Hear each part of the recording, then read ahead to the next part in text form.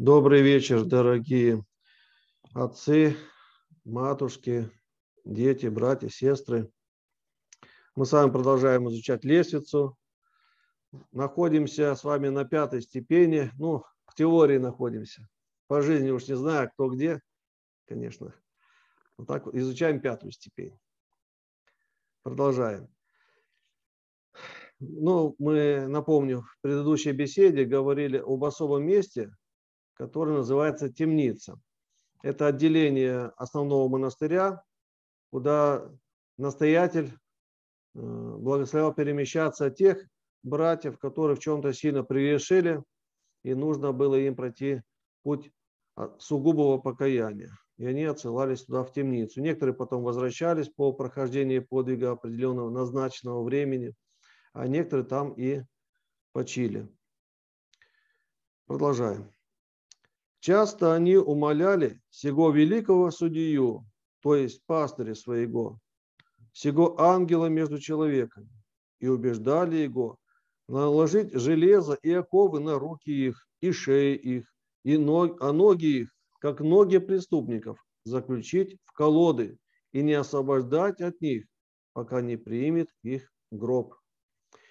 Но иногда они сами себя лишали их гроба, ибо никак не могу утаить и сего истинного умилительного смирения сих блаженных и сокрушенно их любви к Богу в покаянии.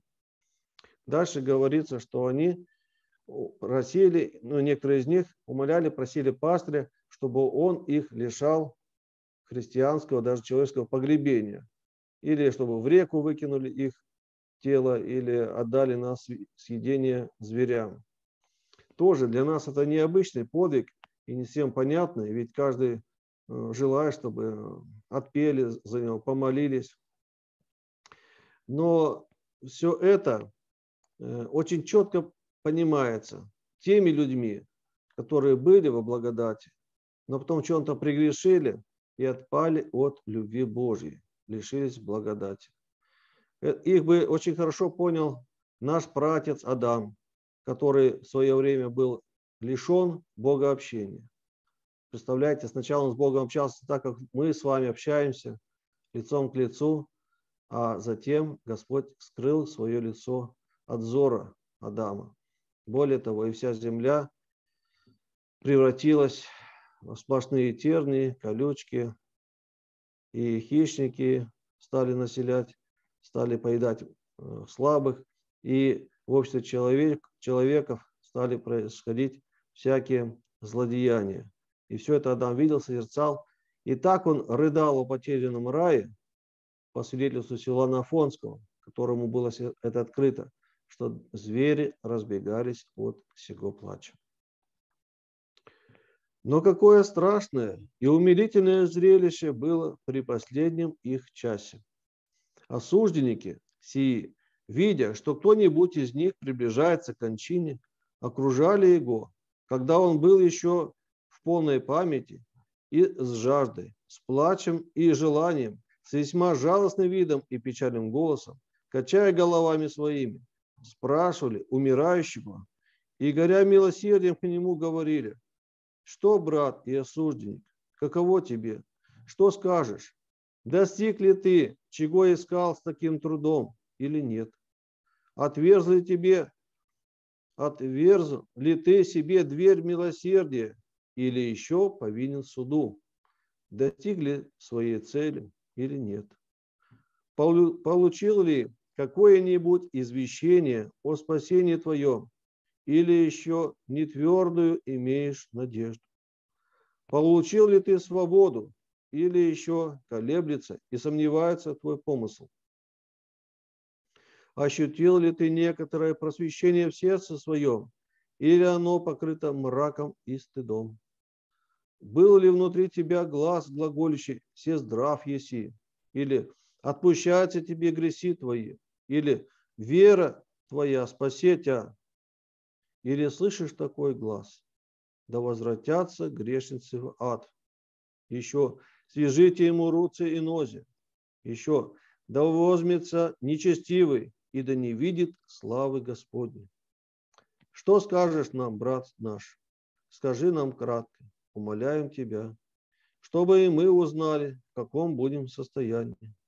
Ибо Твое время уже окончилось, и другого уже не обрящешь вовеки.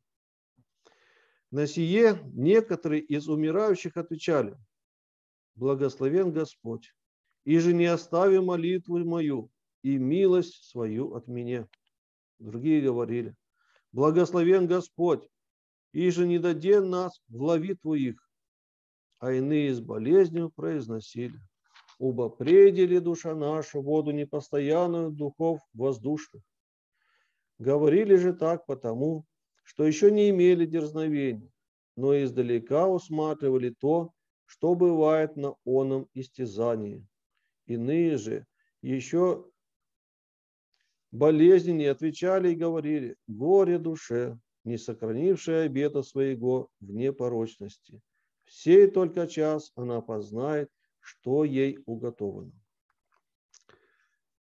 Мы видим, как эти осужденники, э, следуя заповедям монашеским и вообще христианским, всегда помышляли о смерти во все дни своего подвига. И вот были особые дни, в которые эти подвижники видели, как кто-то из них приближается к порогу смерти. И здесь они все собирались для того, чтобы и своим, моли, своим молитвами помочь ему пройти воздушное мытарство, для того, чтобы в поучении этого человека, который уже зрит к смерти, приобрести себе пользу, чтобы уязвить свою душу еще большим покаянием, еще большим подвигом. И вот э, с этой целью они приходили и задавали эти вопросы. И мы видим, как отвечали те, которые уже приближались к смерти. Многие из них говорили с радостью, что окончен подвиг покаяния, и милость Божия уже близко. А некоторые, страшась мытарств, говорили, что горе душе, не сохранившей обета своего. Некоторые из вас, из священников, бывали Э, в такие моменты рядом с человеком, когда он близок к смерти. Или слышали от собратьев священников, когда люди на смертном одре начинают видеть уже духовные предметы. Им открывается другая реальность. Они еще видят и этот мир, но также уже видят и духовный мир. Некоторые говорят, что видят темных сущностей, и страшатся, и во взгляде ужас, и лицо застывает в гримасе ужаса. А у некоторых людей, благочестивых, радостная улыбка. Они беседуют со своим ангелом и э, людям, здесь присутствующим, говоря, что пришли светлые ангелы. И, конечно, э, здесь утешение для самой этой души и для тех, кто находится рядом. Вы знаете, что такие моменты читают отходную. Это особая молитва, которая помогает душе человека проходить мытарство, поскольку сама смерть – это очень тяжелый момент, испытания. Об этом можем мы прочитать э, в житии блаженной Феодоры Константинопольской, которая была ученицей Василия Нового, и как она говорит, что такой страшный момент, как начинает видеть духов злобы, как начинает видеть и ангелов, и начинается истязание, как смерть приходит. Кто еще не читал, не ознакомился, рекомендую всем прочесть, освежить в памяти эту, это поучение, оно для нас очень и очень важно. Хотя сейчас некоторые богословы говорят, что это все сказки, но на самом деле все это очень и очень реально. Продолжает святой Иоанн Лествичник. «Я же, видя и слыша у них все это, едва не пришел в отчаяние, зная свое нерадение и сравнивая оное с их застраданием. И каково еще было устройство того места и жилища их? Все темно, нечисто и смрадно. Оно справедливо называлось темницей и затвором осужденных. Само видение сего места располагает к плачу и наставляет на всякий подвиг покаяния.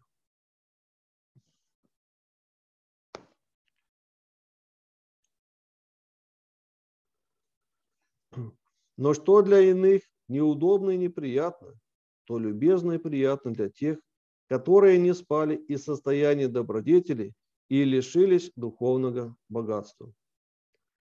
Сейчас пойдет очень важное поучение, но перед этим я хочу немножко так вот пояснить.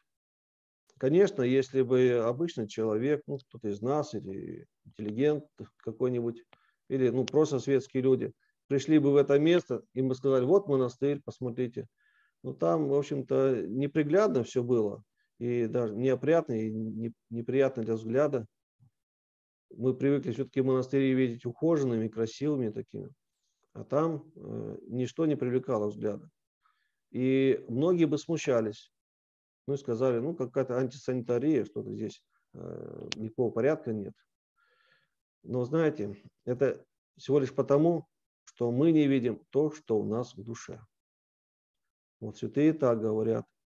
Когда мы начнем подвязаться против наших страстей, то в нашем сердце под э, скажем, в свете начинающейся благодати мы увидим всяких гадов и присмыкающихся, всяких скорпионов, то есть увидим свои страсти и увидим, насколько опорочено наше сердце, насколько зловонны наши страсти. И люди духовные или э, подходящие к этому состоянию, то есть подвижники, начинает видеть это. И для таких людей уже внешне не имеет никакого значения.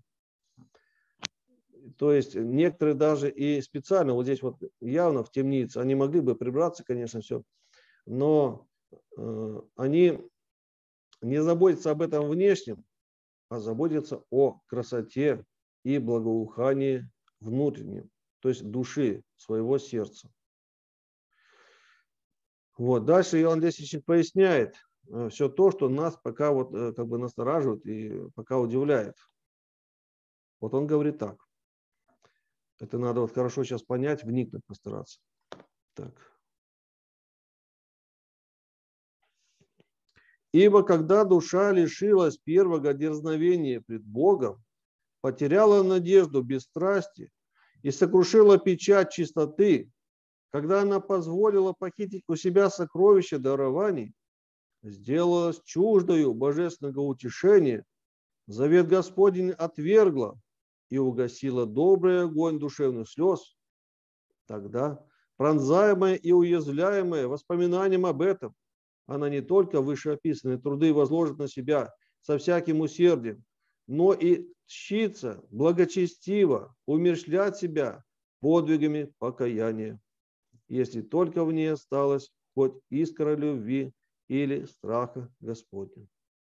Поистине, не таковы, поистине, таковы были сии блажены, ибо, размышляя об этом и вспоминая высоту, с которой не спали они, говорили, помянут дни древние, он и огонь нашей ревности. А иные взывали к Богу, где суть милости Твоя древняя, Господи, который Ты показал душе нашей во истине Твоей.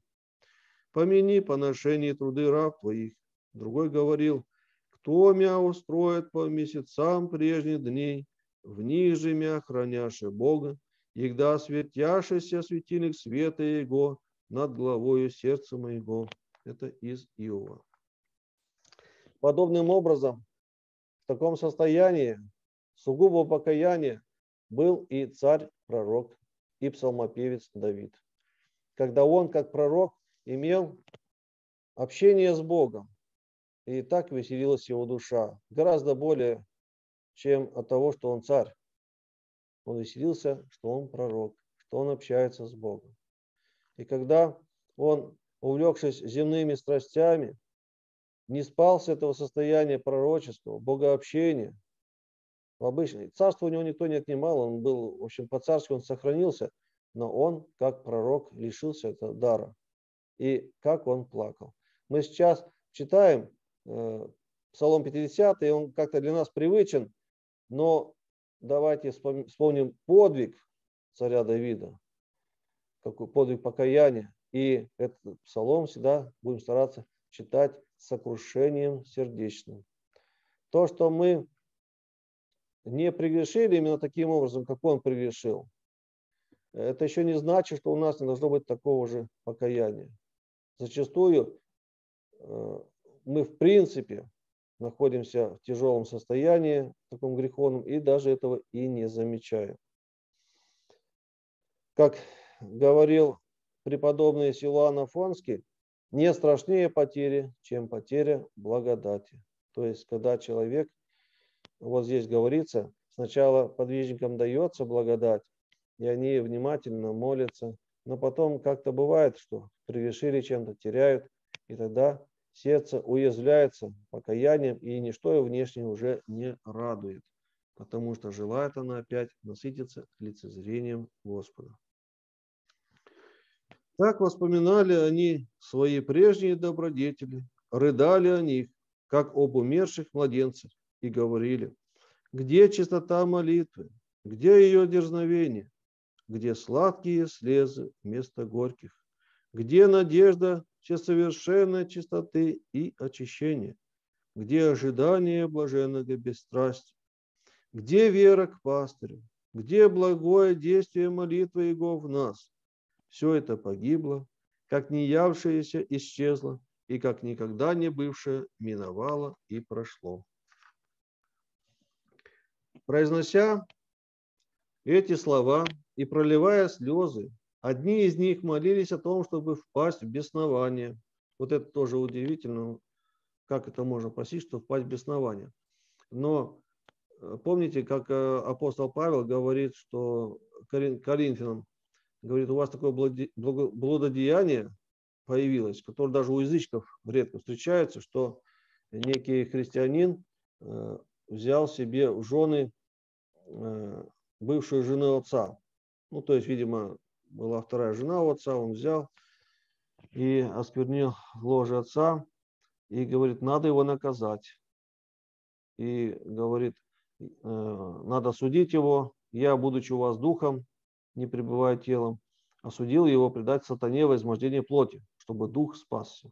То есть за такой грех вот, он упросил Бога, чтобы Господь дал тому человеку беснование чтобы он перенес всякие поношения, тяжелую жизнь, и все-таки э, душа спаслась. Другие просили Господа наказать их проказою, страшная болезнь. Иные желали лишиться зрения и быть предметом всеобщей жалости, а иные просили себе расслабления, только бы не подвергнуться будущим мучениям. Я же, о друзья мои, наблюдая плач забывал себя самого и весь восхитился умом, не в силах, будучи удержать себя, но обратил, обратимся к предмету слова. Вы знаете, можем вспомнить подвиг человека, который ближе к нам жил по времени, и постараемся понять этот подвиг. Вы помните, когда преподобный Серафим Саровский был еще диаконом, во время служения литургии, после возраста священника, яко святость и Божий наш, он, как диакон, стал говорить с королем во веки веков, и в это время увидел Господа в храме, ну, как на высоте, увидел Господа Иисуса Христа, окруженного многими ангелами. И он пришел в умиление, выступление. Его не смог продолжать службу, его завели в алтарь, он еще там пару часов так стоял в таком изумлении. И э, как уязвился, вот таким покаянием. То есть потом это состояние прошло, и он стал на камень, и в подвиге был тысячу дней, тысячу ночей стоял на этом камне. То есть тоже взял на себя такой великий подвиг. Еще можно вспомнить, как старец Паисий говорил. «Э, лежу я у себя в келье ночью, слышу, кто-то перемахнул через забор, и сердце стало радостно биться. Быть может, это послали убийцу, чтобы он убил меня, и я приму мученический венец. Но потом разочарование. Кто-то принес срочную телеграмму. Геронта тут просили помолиться. Вот, и прибежал с этой срочной телеграммой. То есть преподобные многие желали себе венца мученического. И не боялись идти на смерть, как преподобный Антоний Великий много раз приходил в город, удавался в то время еще языческий город, и говорил, что он христианин, хотел, чтобы его предали мучениям, но просто Господь так его сохранял все время для того, чтобы он многим и многим помогал э, становиться настоящими монахами. Пробывший в темнице 30 дней, я нетерпеливый, возвратился в великое общежитие к великому отцу, который, видя, что я весь изменился и как бы вне себя, узнал по своей мудрости причину моего изменения и сказал, что, отче Иване, видел ли ты подвиги труждающихся? Я отвечал, видел отче, и удивился, и ублажил падших и плачущих паче, не падших и не плачущих о себе, потому что те через падение восстали восстанием благонадежным. Подлинно так, сказал он. Потом чуждые лжи уста его сообщили мне следующее. Дальше э, второй э, игумен Иоанн рассказывает лестничнику особый случай, когда у него был ученик один, который очень ревностно подвязался, и игумен Иоанн говорит, и я за него боялся. Он так вот э, еще молодой, но так быстро совершал свое течение. Я думал, сейчас по зависти дьявольской может быть у него падение быть. И действительно, в глубокий вечер он приходит ко мне, показывает обнаженную язву, то есть кается в грехе, требует пластыря, просит прижигания, изъявляет великое смущение духа. Но видя, что врач хочет употребить не весьма жестокое резание, то есть сам игумен думал как-то к нему мягко отнестись, помиловать, а он стал просить, чтобы его отправили в темницу. Значит, повергает себя на землю, хватается за ноги врача, орошает их обильными слезами, просит заключения в темницу, которую ты видел. Невозможно мне, взывал он, не пойти туда. Наконец он убеждает врача изменить милосердие на жестокость, что в недугающих редко и удивительно. Немедленно поспешает он к тем кающимся и делается сообщником и сострадальцем их. От любви Божьей, уязвленный в сердце печалью, как мечом, он в восьмой день отошел к Господу и просил, чтобы ему не делали погребения. Но я вынес его сюда и положил с отцами, как достойного, потому что он после семи дней рабства восьмой разрешился и получил свободу. Некто же достоверно узнал, что он, ну, скорее всего, про себя игумен говорит, просто тут как прозорливость рассказывается, поэтому он прикрыл свое имя, говорит, некто же достоверно узнал, что он не прежде встал от худых и скверных ног моих, как у милости в Бога. И неудивительно, потому что, восприяв сердце веру евангельской блудницы, с таким же упованием, как и она, омочил он смиренные ноги мои, а Господь сказал, что верующему все возможно. То есть игумен говорит, что пришел этот человек, молодой подвижник, упал ему в ноги, столкается, просит, чтобы отправить в темницу. Игумену уже было открыто от Бога, что уже этот грех прощен. Тем не менее, этот молодой человек был направлен в темницу, там семь дней подвязался с сугубом подвиги покаяния и просил, чтобы его не хоронили, по-человечески, по-христиански, но игумен взял его и положил, ну, отпел и положил со всеми преподобными отцами. Вот. Видел я, дальше продолжает, нечистые души, которые до неистовства пылали плотскую любовью, но потом обратились к покаянию и, вкусивши вожделение, обратили вожделение свое к Господу. И, миновавший всякий страх, ненасытную любовью прилепились к Богу. Посему и, Гос и Господь от целомудренной он и блудницы не сказал, что она убоялась, но что возлюбила много и удобно возмогла любовью отразить любовь. Так, тут мы остановимся.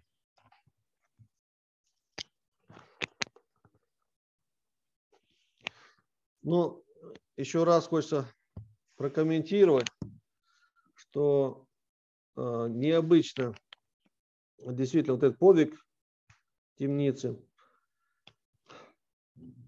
Но если вспомнить, в общем-то, жития наших святых многих, то некоторые элементы этого не встречаются. Бывает, такой подвиг несут они добровольно, а бывает и вынужденно. Вот в Средней Азии особо почитается святой праведный Иоанн Русский. И в соборе, Никольском соборе города Душамбе есть предел во имя Иоанна Русского, есть икона с частицей его мощей. На Востоке он особо почитается, потому что в житии сказано, он был э, воином, э, солдатом в войске Петра Великого, и во время войны со шведами, потом там турки помогали еще, он попал в турецкий плен, был продан арабам в рабство. Но там не стал унывать, стал молиться, подвязаться, жил в тяжелейших условиях. Он буквально всю жизнь прожил в конюшне. Даже когда за его добрую жизнь, за его чудеса, исцеление, прозрение, хозяева хотели ему отдельный дом построить, он упросил их, чтобы они там же его и оставили, в этой конюшне на сене э, жить. Но он прославился великими-великими чудесами до сих пор. Чудес много. Кстати, в этом году случилось чудо с пьяным русским на острове, по-моему, Эвбея называется, этот э, греческий остров. Там его храм, там мощи его. Вы слышали, в этом году очень много пожаров было, и не только у нас в Якутии, но и в Турции, и в Греции. И выгорали очень э, многие села. И вот случился на этом острове пожар, Э, такое сильное, что власти решили эвакуировать все это село. И священник вот это в статье описывает так, что э, значит, женщины стали собирать вещи, чтобы эвакуироваться с этого острова, уезжать, потому что все огнем охвачено. А мы с мужчинами взяли пилы и стали делать защитную полосу, валить деревья, растаскивать, чтобы немножко от деревни лес как бы проредить. Э, потом, говорит, позвонил мне епископ, спросил у нас обстановку и говорит, «Э, прошу тебя, отец, умоляю, э, совершите молебен Иоанну Русскому. Говорит, с мощами, конечно, сейчас тяжело будет пройти, но возьмите икону и пройдите вокруг деревни. Вот. И мы говорит, взяли икону, помолились, вокруг деревни сделали крестный ход. И откуда ни возьмись, такой страшный ливень пришел на весь остров. И все, пожар прекратился. Вот представляете? Хотя по прогнозам говорит, невозможно, ну, не было этого ливня. Вот такое чудо в этом году, в 2020 году случилось на этом острове от мощей святого Иоанна Русского. Вот. Но видите, как он жил, и даже когда ему предложили лучшие условия, он не захотел, потому что там с ним Господь. Вспомним Лазаря, который э, не, не четверодневный Лазарь, а про которого Господь говорил, что псы приходили и лизали раны его, и он потом вошел в рай. И так у многих святых мы видим такие злострадания. Бывали, что невольные, конечно, бывало, что и в темницу заключали, как э, э, патриарха э, Гермогена. Вот. Бывало такое, конечно. Мучили, заключали в темницу, голодом томили. Но и в этих тяжелых условиях люди общались с Богом. И когда им предлагают лучшие условия, они старались те условия сохранить. Вот. Ну, дорогие отцы, братья, сестры, матушки, благодарю за внимание. Вы знаете, конечно, то, что мы сейчас изучаем, э, нелегко, может быть, ложиться, но и, может быть, и не должно легко ложиться все. Надо вдуматься хорошо. И как говорил Макарий Оптинский, лестница читается жизнью. Эта книга воспринимается жизнью. То есть надо стараться хоть чуточку э, подражать святым отцам. Конечно, не в полной мере, у нас нет столько сил, но иметь это всегда в уме, как правильно подвязаться. Спасибо Господи за внимание.